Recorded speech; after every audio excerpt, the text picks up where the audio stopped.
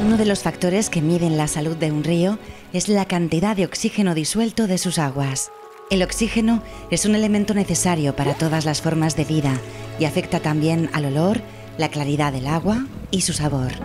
Este oxígeno es en parte un producto de desecho de la fotosíntesis y es generado por las plantas acuáticas y algunas bacterias, mientras el resto de las especies necesitan consumir oxígeno para sobrevivir. Cuando el río está contaminado, su nivel de oxígeno baja y eso afecta a unos organismos más que a otros, perdiéndose parte de la biodiversidad.